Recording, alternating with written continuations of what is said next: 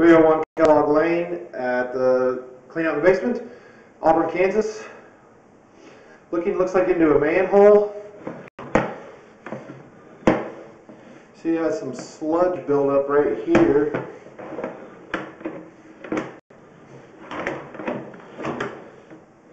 Oh, there it is, there's the edge of the manhole right there, just has some sludge in it.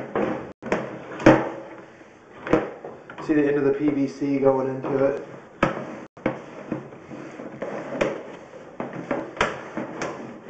Line's all PVC coming back towards the house.